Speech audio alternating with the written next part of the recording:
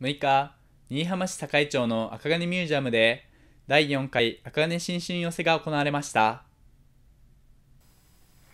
今回で4回目となる赤金新春寄せは、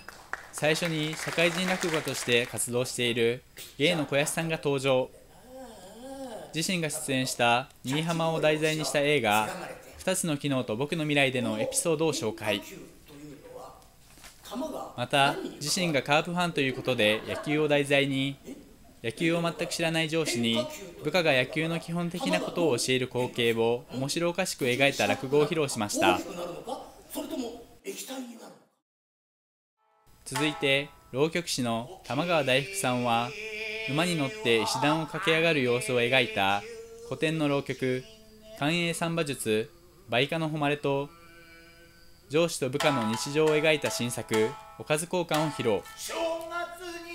浪曲の楽しみ方を話の合間に紹介する形となっていて初心者の方も楽しみながら話に聞き入っていました。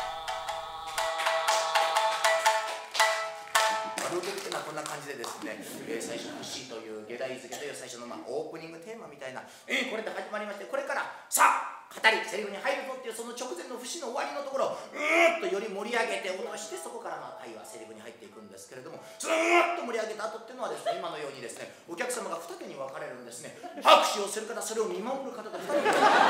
るそして落語家の三遊亭健康さんは古典落語の初天神とお見立てを披露。初天神は天満宮に参拝に出かけた父親と息子が飴や団子を買う買わないというやり取りを繰り広げる様子を面白おかしく描いた作品で